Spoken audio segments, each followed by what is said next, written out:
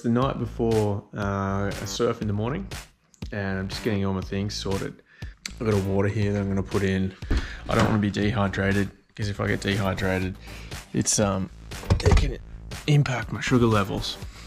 We've got two boards in the car.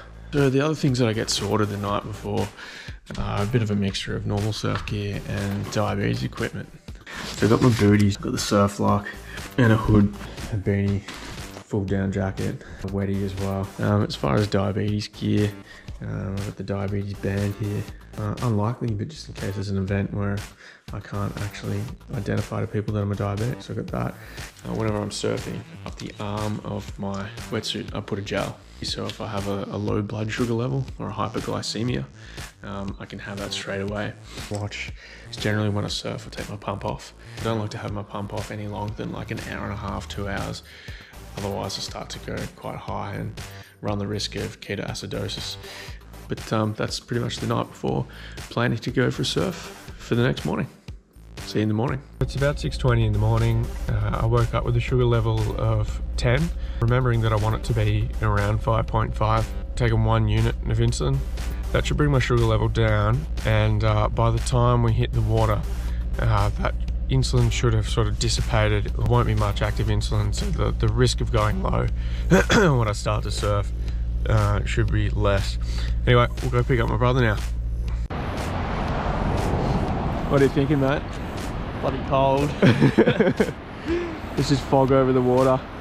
It's a balmy two degrees. Beauty. How much active insulin? 0.950. So that's not too bad. All right, we're going in. It's looking pretty good. Just bloody cold. Let's do this.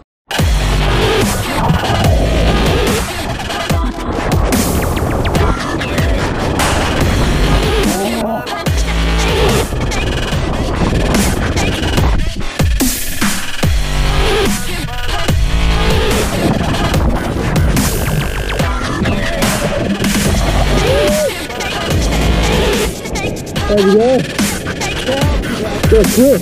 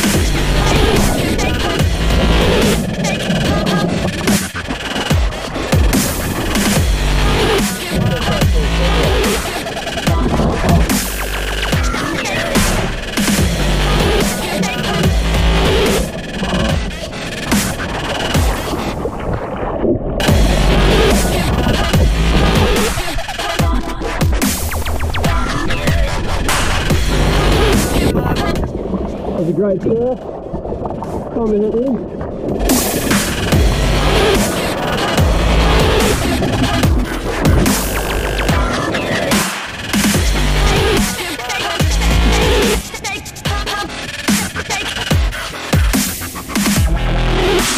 Drum roll. What are we gonna be? Ha! Righto, so we probably surfed for what, an hour and 15 maybe? Had to pump off the whole time and sugar level 6.5. Can't get much better than that. Pretty successful surf. No highs, no lows. Pretty pumped with that one. See you next time.